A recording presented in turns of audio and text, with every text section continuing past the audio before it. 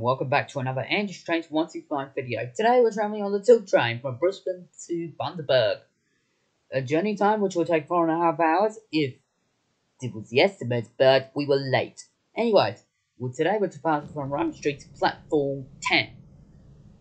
Today we'll be heading out via the Normanby Loop, up the North Coast line, all the way up to Bundaberg. Leaving here at Roma Street, platform 10, this is where all the travel trains depart from. This includes the Spirit of the Outback, that heads from Brisbane to Longreach, the Spirit of Queensland, which heads to Cairns, and the Westlander that heads, heads, heads out to Charleville, and also the Tilt train that heads up from Brisbane to Rockhampton.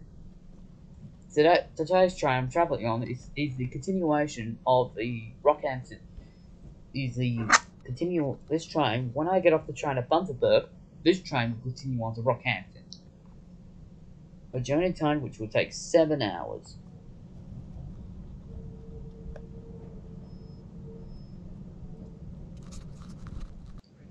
We leave the Normanby Loop at Bowen Hills, converging onto the main line.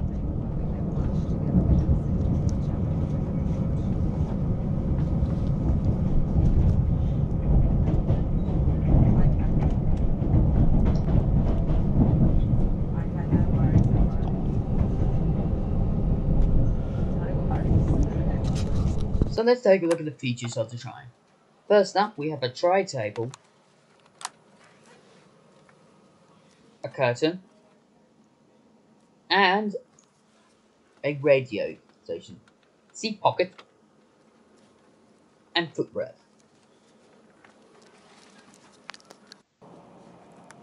The radio has the channels and has a channel control and a volume control. Also, it also has control for the reading light, which is bright and powerful. And you can also adjust it. Also, tray table again. The tray table was dirty, dirty, but a bit lumpy. So you can change the radio channels and also the volume.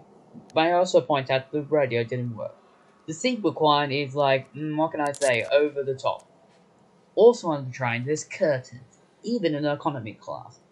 This train this train also features a business class which also has the curtains. And it has a wider seat too. So opening the curtain is great, but getting it back in its place uh, was a little bit tricky I should say. There's also USB ports which also worked. As you can see by my phone. So let's have a look what's inside there. First up, safety card. Two sick bags, who really, who really needs it. A Discover magazine with all the stuff, including your entertainment. The menu, which which also which displays the wine list and the history of the North Coast line. And all the hot and tasty stuff. Also features is an earphones for the radio, which uh, of course didn't work. But it did work on the way back. The toilet was kept nice and clean for the whole journey.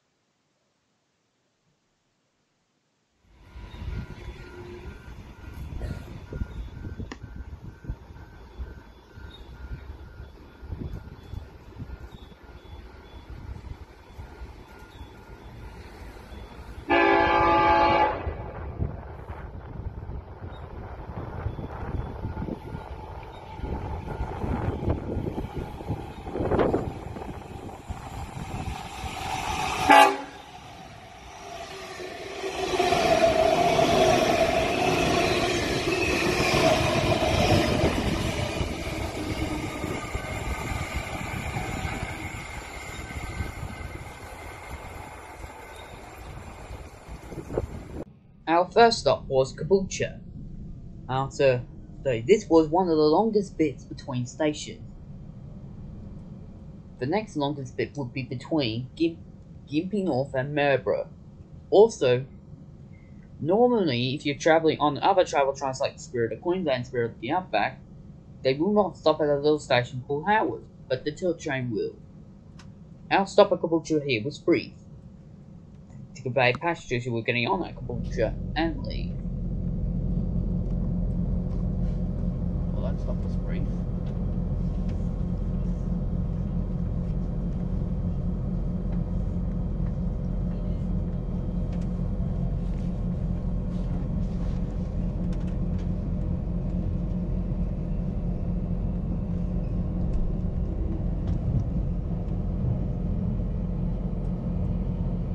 From this point on, the, the train speeds will go up. The maximum speed of this train is 160, but it does hold the Australian rail speed record for 210 kilometers an hour, which means it's the fastest train in Australia, but also the fastest narrow gauge train in the world. And on, and just like in the TV monitors on board, what they're currently showing is a driver cam it's just like a tail cam on an airplane, but with a camera in the cab. Might be a can cam. However, since the radio didn't work and they played some movies along the way, however, I didn't like the options, so I might as well just made up my own.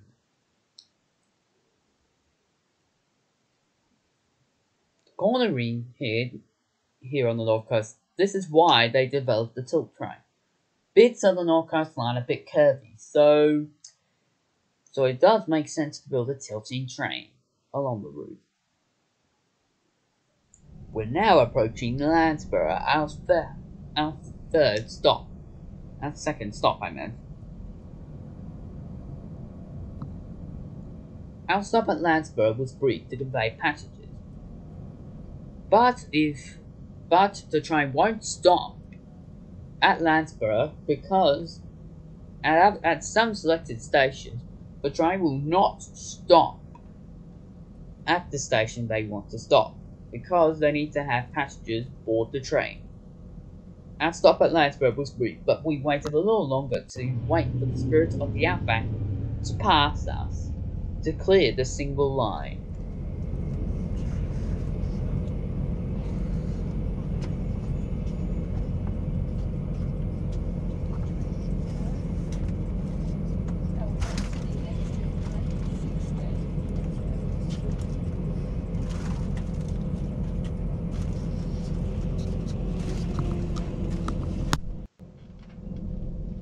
Once the spirits of the outback pass, we are on our way.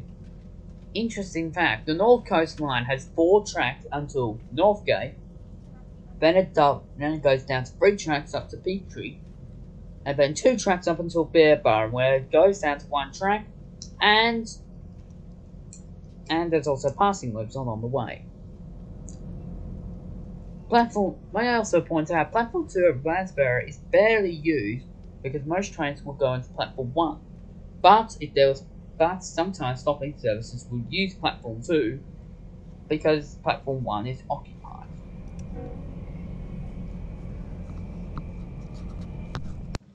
Our third stop today was Nambour, where we'll be conveying more passengers on, on the service. Our stop at Landsborough was brief. Nambour was brief. But I may as well show you lunch which given which we were given after the train left Nambour.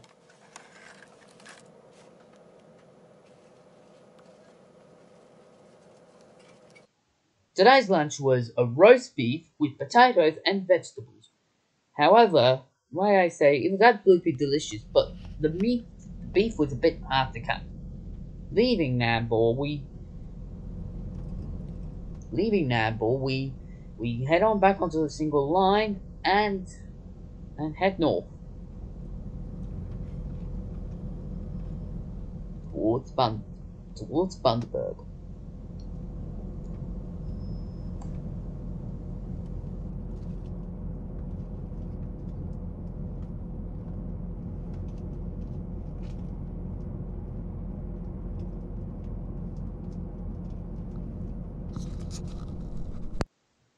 Just here, which you missed because I did time lapse this thing. we have to stop here to wait for the southbound tilt train to pass, so we can so we can so we can clear the single line and for us to head up north towards towards Bundaberg.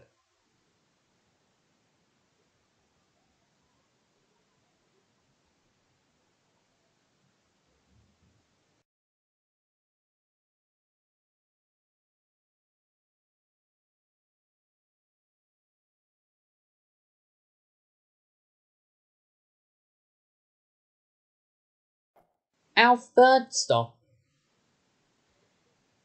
was Cooroy, located located just north of Nambour. Cooroy, Cooroy, just like Landsborough, needs to have some. The train will only stop if there's booked passengers on this service.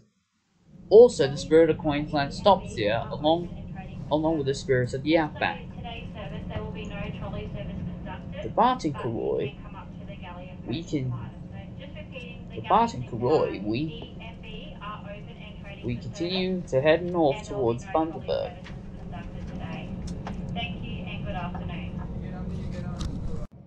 We're just about to pass Chatham, Queensland due station. Well, I think, but the City Train Network due station. I was there less than a week ago. On the day while I was filming this, I was, I was actually there less than a week ago. So I'll pop up a card to the link to the video. We stopped again just before Gympie North to let this IC to let this Brisbane bound ICE path heading from Gympie North. The ICE sets were built in 1988. The tilt train actually replaced them on the Spirit of Capricorn services. A link. They are also part of the transport history video which the link will provide. We're now approaching our fourth stop, Gympie North. Our stop here was brief again, but normally we would stop here for a little while. But I'm afraid we were running late. So there was no option to turn so there was no option for us to stretch our legs and head onto the platform. Like I said again, stop here was brief, our now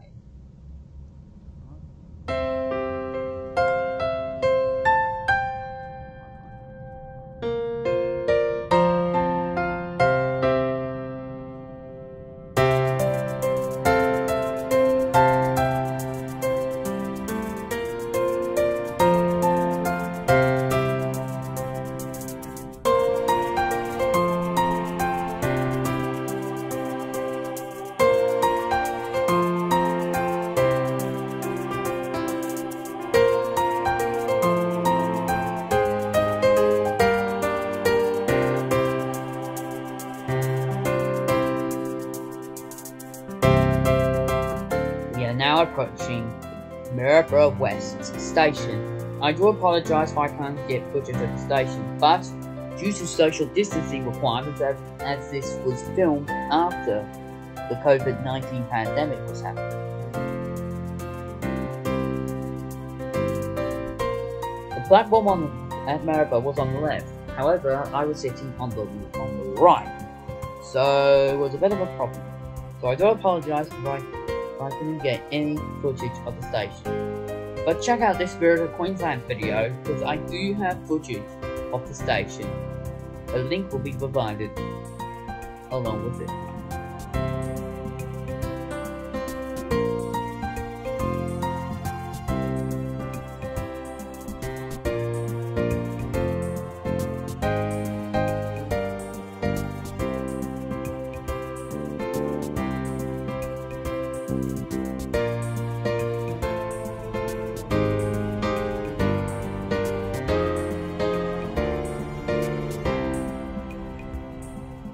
Leaving Maryborough West, we still head north towards Bundaberg as we try to make up time. We also did make a brief stop at Howard, but I'm afraid I did not get it on film.